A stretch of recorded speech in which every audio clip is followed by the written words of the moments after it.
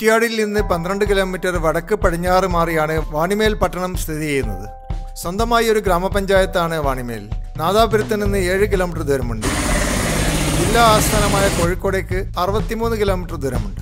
ഇരുപത്തിമൂന്നായിരത്തോളം ആളുകൾ വാണിമേൽ ഗ്രാമപഞ്ചായത്തിൽ താമസിക്കുന്നു. വാണിമേൽ പഞ്ചായത്തിന്റെ തെക്ക് ഭാഗം നാദാപുരവും നരിപ്പറ്റയുമാണ്. വടക്ക് ഭാഗം കണ്ണൂർ ജില്ലയിലെ പാട്യം പഞ്ചായത്തും വയനാട് ജില്ലയിലെ തൊണ്ടർനാട് പഞ്ചായത്തുമാണ്.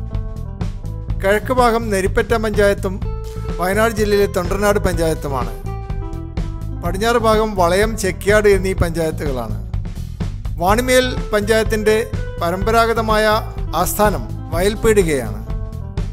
അടുത്ത കാലത്തായി കൂടുതൽ വാണിജ്യ സ്ഥാപനങ്ങൾ ഉയർന്നു വന്നിട്ടുള്ളത് ഭൂമിവാതിൽക്കൽ പ്രദേശത്താണ്. അതുകൊണ്ട് ഇപ്പോൾ വാണിമേലിന്റെ ഹൃദയം ഭൂമിവാതിൽക്കലായി കണക്കാക്കപ്പെടുന്നു.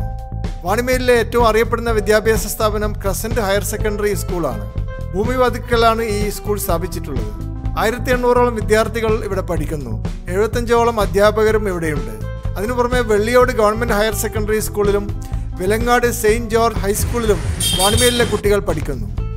വാണിമേൽ പട്ടണത്തോട് ചേർന്നുള്ള ഗ്രാമങ്ങളാണ് ചേലമുക്ക് വയൽപീടിക വെള്ളിയോട് വേർക്കടവ് നെടുംപറമ്പ് പുതുക്കുടി പാലൂർ ചിറ്റാരി കരുകുളം വിലങ്ങാട് പരപ്പുപാറ കൊടിയൂറ കൊമ്മിയോട് കുളപ്പറമ്പ് വളയം എന്നിവ.